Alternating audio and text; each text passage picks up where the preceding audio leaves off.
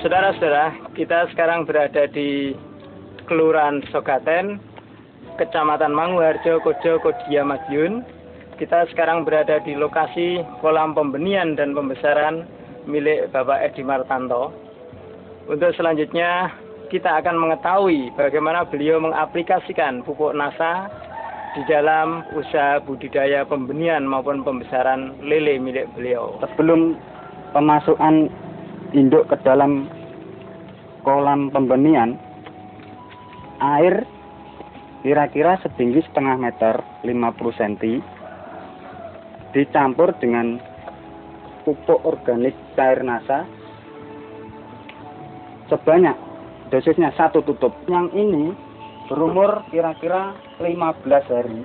Ini sudah sekitar seminggu. Tidak saya ganti tidak saya sirkulasi tapi kondisi airnya masih bagus dan ikannya tidak mau nongol. Itu pertanda ikan eh, kondisi air di dalam air bawah itu masih bagus. Kan kita mau mengaplikasikan pakan udang untuk pakarkan lele dengan dosis per kilo 1 cc. Lalu kita semprotkan ke pakan udang kita aduk secara merata supaya lebih meresap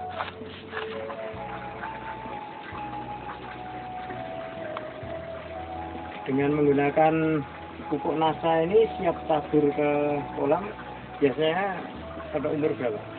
Itu biasanya sekitar umur 22, 23 sudah bisa ditebar. Sudah tebar ke kolam pembesaran. Dan kalau dulu sebelum saya pakai NASA itu ukuran 3 itu minimal itu 30 hari satu bulan itu baru saya bisa ngasih uh, penyeleksian pertama.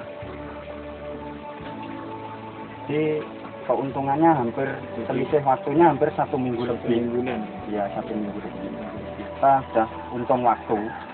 Di lokasi pembesaran ikan lele. Nah, nah ini tahap pembersihan. Tahap pembersihan meliputi pembersihan air pengangkatan lumpur hitam, dan pengeringan. Karena tadi malam hujan ini airnya penuh, sebenarnya kemarin sudah kering, ini sudah satu hari kering. Hitam kemarin yang kami angkat itu seperti yang ada di bawah ini, ini sangat beracun. Mengangkat lumpur hitam dari kolam itu untuk menghindari hal-hal yang tidak diinginkan seperti virus, racun, dan segala macam yang merugikan ikan lele. Nah, saya menjalankan usaha ini dengan mengacu eh, aturan-aturan uh, atau yang dianjurkan oleh NASA seperti tahap-tahap budidaya dan aplikasi ton itu semua sudah ada di sini termasuk pemasukan air, tebar benih, program pakan ikan, sampai dosis-dosisnya itu ada semua di dalam sini. Jadi saya mengacu untuk memakai buku ini untuk menjalankan usaha saya. Walaupun buku ini untuk dianjurkan untuk uh, udang, tapi ternyata cocok juga untuk ikan lele terapi kolam kita saya menggunakan ton tambak organik Nusantara. Ini untuk membantu menghilangkan eh, racun-racun uh, virus dan akan membantu pakan alami ikan yaitu plankton. Nah caranya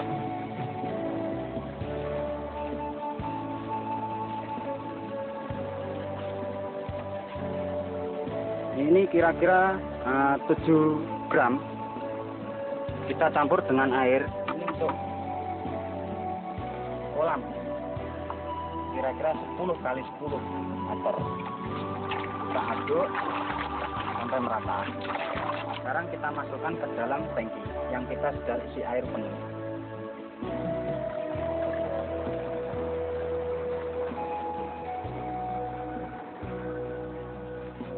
kita nyemprot dalam keadaan kondisi kolam kering tapi berhubung tadi malam hujan tidak apa-apa. Tapi eh, sebelumnya kita sudah bersihkan lumpur hitam dan kita akan menyemprotkan campuran ton ke dalam kolam.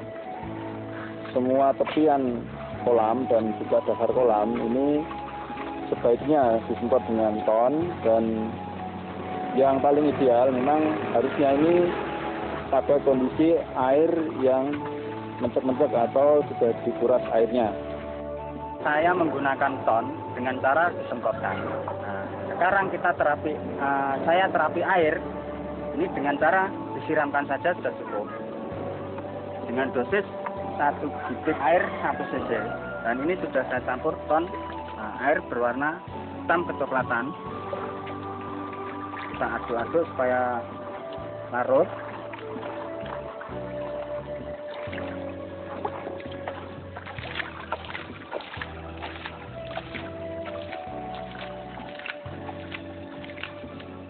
saya sekarang berada di lokasi pembesaran ikan lele yang sudah berumur 20 hari.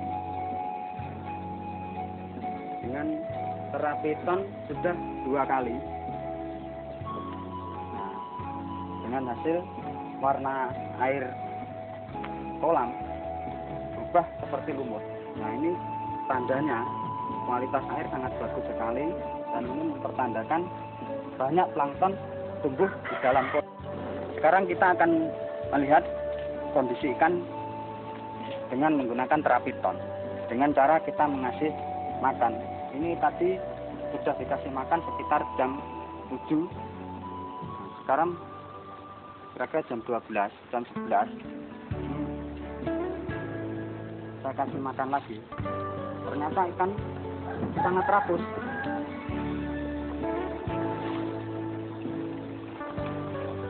Dulu sebelum menggunakan ton. Ikan umur sekian umur dua minggu ini tidak bisa seperti ini. Sebelum saya menggunakan terapi ton itu saya menebar benih dari nol sampai dengan panen. Itu hampir kira-kira 10 minggu atau dua bulan dua minggu. Itu dengan isi 5000 saya pakai 15 sak itu tidak mencapai 5 kuintal sekarang saya menggunakan terapi tong ini hanya dengan 57 hari saya panen ikan lele. Itu ikan sudah berukuran besar.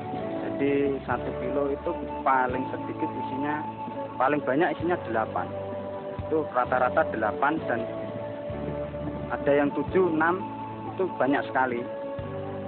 Jadi saya kesimpulannya dengan menggunakan ton saya bisa memanen sebelum jauh sebelum dua bulan. Itu sudah mendapatkan ukuran yang diinginkan pasar. Ini ukuran ikan yang saya panen 57 hari. Ciri-ciri ikan yang memakai terapi ton dagingnya padat keras dan tidak mengalami penyusutan. Jadi lemaknya sangat sedikit sekali. Jika digoreng tidak mimpes kepalanya tidak besar. Nah, badan di bawah kepala ini yang besar. Saudara-saudara, sekarang kita kembali ke kolam Bapak Edi Martanto untuk melihat perkembangan lele beliau yang pada 40 hari yang lalu kita ambil gambarnya. Inilah keadaan kolam setelah usia 40 hari. Ikan pada ya, kasih makan Pak. Bulari ini akan dikasih makan oleh Pak Edi. Kita lihat perkembangannya. Bisa kita saksikan populasi ikan tetap padat dengan perkembangan ukuran yang sangat memuaskan. Jika kita lihat kondisi airnya, bahwa air berwarna hijau ini menandakan bahwa pertumbuhan plankton di sini sangat bagus. Inilah yang mendukung antara lain memberikan dukungan yang kuat pada perkembangan ikan lele di sini.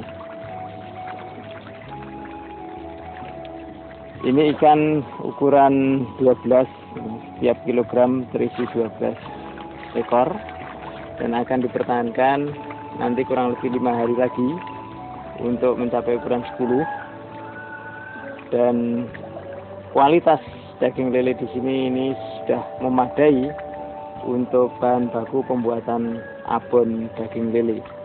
Karena pembuatan abon daging lele ini diperlukan lele dengan kualitas daging yang baik dengan kadar lemak yang rendah.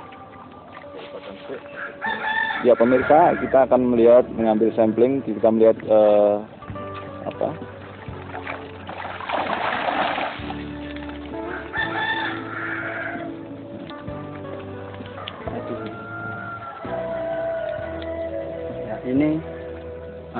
contoh ikan lele yang siap dipanen, tapi tinggal menunggu waktu.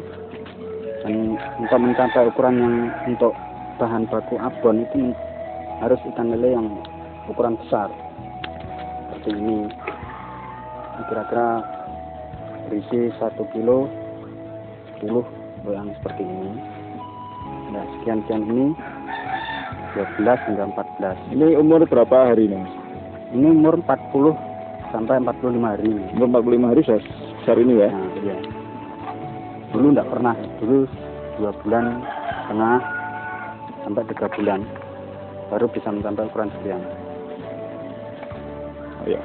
Kolamnya diberi perlakuan Ya seperti dulu eh, terapi ton ini cuma dua kali, tiga kali waktu syuting itu dulu, waktu diambil gambarnya itu tiga kali. Sampai sekarang baru tiga kali. total berapa sendok ini untuk pemberian apa? 15. Ini Total 15. 15 sendok. 15 sendok ya. Jadi kurang Ya, lebih tujuh kali 15. 15 hari sekali dikasih ton. Ya, Nah, 10 hari saya. 10 hari sekali dikasih ton. Masing-masing pemberian kurang lebih 5 sendok berarti. Iya, 5 sendok. Nah, kolamnya lebih besar. Bisa kita juga akan melihat eh, kolam lagi pada di, di desa Sebatan dengan lokasi yang lainnya yang telah menggunakan pupuk ton dan pupuk nasa.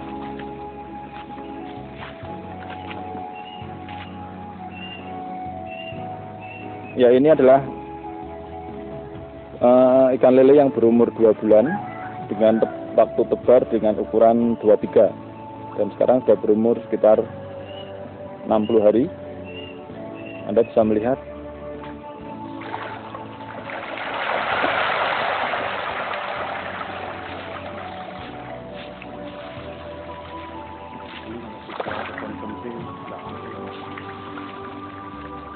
ini ukurannya sudah cukup besar. Ini kurang lebih satu kilo berisi 8 jadi untuk ukuran konsumsi ini sudah terlalu besar. Jadi ini memang dikhususkan untuk konsumsi kemancingan ikan. Ya, dan juga peng- apa, pembuatan abon lele